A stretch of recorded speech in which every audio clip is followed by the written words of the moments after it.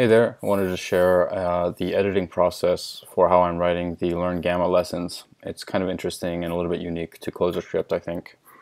So the interesting point is that the documentation is actually embedded inside of the tutorial itself. So I can see all the different lessons, and I see there's no explanation for this lesson yet. The lesson one has a little bit started.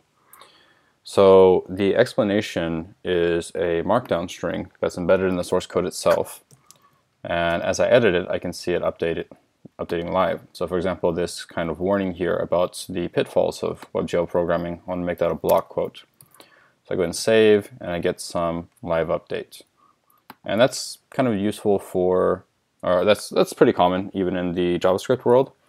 Um, but the cool thing is I can actually reference the vars inside of the uh, ClojureScript source itself. So for example, let's say that uh, knowing that programmers tend to only look at images, tables, or code, I want to get the actual code in here as quickly as possible. But I don't want to copy, for example, my main uh, function into the source code, um, and I don't want to have any like preprocessor uh, separates from this.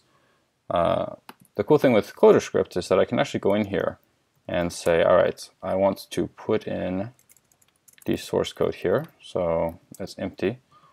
And I can have a function with the, with the ClojureScript REPL, which actually looks up the source code of a given var and then prints it out to a string. So if I save this, I should see the data is actually in there immediately, which is pretty nice. And if I go up here and I start changing it, and I say, for example, I introduce a new binding, um,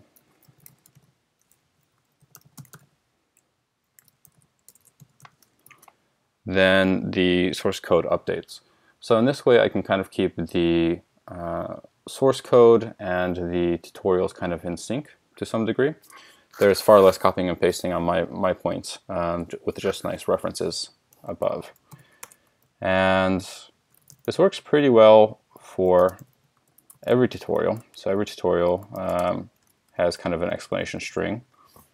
And if we go into this one, we see that there's no explanation yet. So let's just uh, try putting in this one's main function, and there we go.